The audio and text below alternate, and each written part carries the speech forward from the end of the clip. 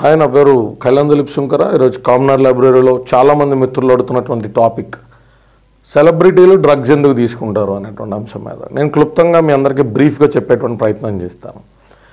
సెలబ్రిటీలు డ్రగ్స్ ఎందుకు తీసుకుంటారు అనేటువంటి విషయాన్ని లోపలికి మనం వెళ్ళే ముందు అసలు ప్రపంచంలో మనిషి జాతిలో కులం మతం ప్రాంతం దేశానికి సంబంధం లేకుండా ఏదో ఒక వ్యసనానికి లోబడేటువంటి వ్యక్తుల శాతం ఎందుకు పెరుగుతూ ఉంటుంది?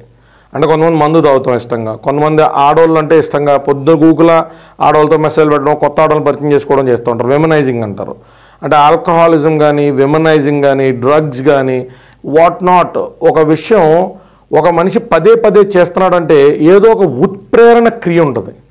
ఆ క్యాటలిస్టిక్ యాక్టివిటీ ఏంటి ఆ మోటివేషన్ ఆ మోటో ఏంటి అని చూసినప్పుడు మన బ్రెయిన్కి సంబంధించి అంటే సైంటిస్టులు ఏం అనుకున్నారంటే మన బ్రెయిన్కి సంబంధించి రివార్డ్ అండ్ ప్లెజర్ సెంటర్ అనేది ఉంటుందంట.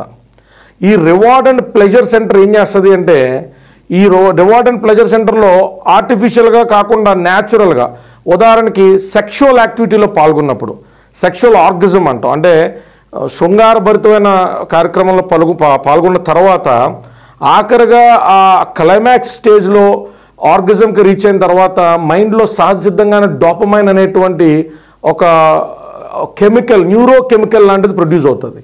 ఈ డోపమైన్ అనేటువంటి న్యూరో కెమికల్ ఏం చేస్తుందంటే తాత్కాలికమైనటువంటి ఊరట సంతృప్తి ఆనందం ఆహ్లాదాన్ని ఇస్తుంది. ఇటువంటి న్యూరో కెమికల్ని హెరాయిన్ కానీ కొకెయిన్ కానీ ఇటువంటి డ్రగ్స్ ఏదైనా తీసుకున్నప్పుడు వాటి నుంచి అంటే టొబాకోలో అయితే నికోటిన్ ఉంటుంది అనుకోండి ఇది కూడా ఒక మాదిరి అదే పనితీరులో పనిచేస్తుంది. మనకు అర్థమయ్యే భాషలో చెప్పాలంటే ఇమీడియట్గా ఓ రకమైన సుఖానికి ఓ రకమైన ఆహ్లాదభరితమైన ఆనందానికి తీసుకెళ్తుంది డ్రగ్ అనేది.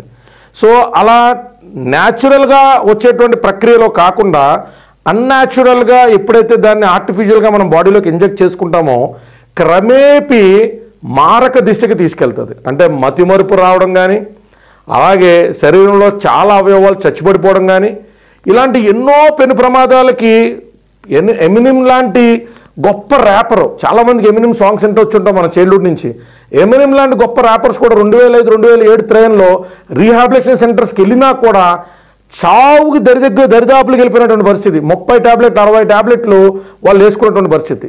ఈ డ్రగ్స్లో చాలా రకాలైనటువంటి మారక ద్రవ్యాలకి తెలిసి కూడా ఎందుకు అలవాటు పడిపోతారు సెలబ్రిటీస్ అంటే స్ట్రెస్ఫుల్ లైఫ్ స్ట్రెస్ఫుల్ లైఫ్ అంటే ఎందుకంటారంటే ఏదన్నా కెరియర్లో సాధించాలి అన్నప్పుడు ఒక రకమైన ఆబ్సెషన్ క్రియేట్ అవుతుంది. గోగట్ నేచర్ ఉంటుంది. రిస్కీ నేచర్ ఉంటుంది. ఈ రిస్క్లు తీసుకునే నేచర్లో ఆర్గానికల్గా ఎదిగితే ఓకే. కొంతమంది నలమంత్రపు సిరి కింద ఆల్ ఆఫ్ సడన్ ఎదుగుతారు. అప్పుడు దాకా నార్మల్గా ఉండే సూపర్ హిట్ సినిమా వస్తుంది. ఆ సూపర్ హిట్ సినిమా వచ్చిన తర్వాత ఏదైనా మందు అలాంటిది టెంపరీగా దొరికేటువంటి లో డోసేజ్ ఆఫ్ ఆల్కహాల్ తీసుకోవాలనుకున్నారు అనుకోండి ముఖం నల్లబడిపోద్దేమో ఒళ్ళు వచ్చేస్తుందేమో పొట్ట వచ్చేస్తుందేమో ఎక్సర్సైజ్ చేసినా ఒక్కోసారి ఆ మెలస్మా వల్ల ఫేస్ మీద ఉన్నటువంటి ఆ బ్లాక్నెస్ పోదేమో అనేటువంటి బాడీస్ ఏమి జరుగుతుందేమో అనేటువంటి ఇన్ని థాట్స్లో మత్తు కావాలి అది శారీరక అందాన్ని పాడు చేయకూడదు. మగతతో కూడిన నిద్ర కావాలి అది ఒళ్ళు తీసుకురాకూడదు. ఇన్ని జంక్షన్స్లో తేలికపాటిగా ఉండేటువంటి డ్రగ్స్కి వెళ్ళిపోతారు. ఈ డ్రగ్స్ ఏం చేస్తాయంటే పదహారు గంటల నుంచి ఇరవై నాలుగు గంటలు నిద్రలో ఉంచుతాయి. ముఖం మీద ఒక చక్కటి ప్లాస్టిక్ పోత అంటే ఇవన్నీ మిత్స్ అయి ఉండొచ్చు ఒక మాదిరిగా నిజమై ఉండొచ్చు కానీ సెలబ్రిటీస్ ఒళ్ళు రానివ్వకుండా చేస్తూ ఉంటుంది. సో ఆటోమేటిక్గా ఆల్కహాల్ తాగినప్పుడు సోడా కానీ alcohol is a kind of calories కదా. ఒకడు ఒక పెగ్ ఆఫ్ విస్కీ అంటే ఒక పెగ్ ఆఫ్ విస్కీ ఆపేవాళ్ళు ఎంతమంది ఉంటారు? బీర్ అంటే ఒక బీర్ ఆపేవాళ్ళు ఎవరు ఉంటారు ఒక పింట్తో సో ఆల్కహాల్ అనేటువంటిది ఏం చేస్తుందంటే అది డిఫరెంట్ పారామీటర్స్లో సెలబ్రిటీస్కి ఆ బాడీ అవుట్లుక్ అనేటువంటి దాన్ని మార్చేస్తుంది కాబట్టి దాని వైపుకి వెళ్ళకుండా మత్తు తీసుకొచ్చేటువంటి అలాగే వాళ్ళ ఆ మగత నిద్ర అనేటువంటి దానికి శ్రమ లేకుండా ఇచ్చేటువంటి ఒక మాధ్యమం కింద మొదలు పెడుతూ దాని ద్వారా వచ్చేటువంటి ఆ డోపమైన సుఖానికి అలవాటు పడిపోయి వదలాలన్నా వదలలేనటువంటి భయంకరమైన పరిస్థితుల్లో సో ఈ డోపమైన్ న్యూక్లియస్ ఎక్విప్మెంట్స్లోకి ఎప్పుడైతే వెళ్తుందో నేను చెప్పిన ఆ reward and pleasure centre of బ్రెయిన్లో ఆ సుఖం అనేటువంటిది పదే పదే పదే పదే చేసేటువంటి క్రేవింగ్ క్రియేట్ చేస్తుంది. అప్పుడు ఈ సెలబ్రిటీస్కి ఉండేటువంటి అతిపెద్ద సమస్య సెలబ్రిటీస్ అనే కాదు. జీవితంలో ఒక స్థాయి దాటి మరొక స్థాయికి వెళ్ళినటువంటి వ్యక్తులు ఆ స్థాయితో తమను తమను ఆలింగనం చేసేసుకుంటారు. ఆ స్థాయి నుంచి సెపరేట్గా వాళ్ళని వాళ్ళు చూడలేరు. ఆ చూడలేనటువంటి పరిస్థితి కొంతమంది స్మోకింగ్ అలవాటు చేస్తారు కొంతమంది డ్రింకింగ్ అలవాటు చేస్తుంది. మరి కొంతమంది నెక్స్ట్ లెవెల్ ఆఫ్ మగత కోరుకున్న వాళ్ళకి డ్రగ్స్ అలవాటు చేస్తుంది. ఎటువంటి పరిస్థితుల్లో అయినా అందుకే పెద్దలు ఊరికే చెప్పేవారు కాదు. తామరాకు మీద నీటి బొట్టు వలె ఉండమనేవారు. అంటే దేనికి కూడా ఆశపడి కానీ ఆధారపడకు అని చెప్తా ఉండేవారు. చాలామంది యువత యువకులను కూడా చూస్తూ ఉంటాం. ప్రేమ వ్యవహారాల్లో నువ్వు లేకపోతే నేను చచ్చిపోతాను నేను దాని గురించి ఒక వీడియో చేస్తాను ఖచ్చితంగా. నువ్వు లేకపోతే నేను ఉండలేను అంట మగవాళ్ళు ఆడవాళ్ళ మీద ఆడవాళ్ళు మగవాళ్ళ మీద చేసేటువంటి ఎమోషనల్ డిపెండెన్సీ కూడా క్రమేపీ ఇటువంటి పరిచర్యలకే దారితీస్తుంది.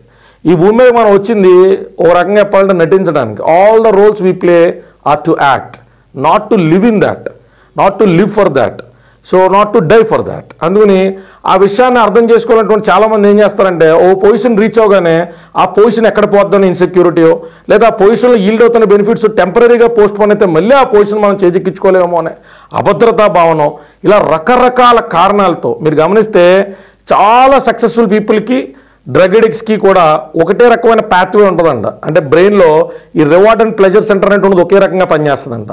అంటే డ్రగ్ ఎంత ప్రమాదం ఏదన్నా ఏదైనా ఒక అంశంలో ఉన్నత స్థాయికి చేరుకోవాలనేటువంటి ఆకాంక్ష కూడా అంతే ప్రమాదం.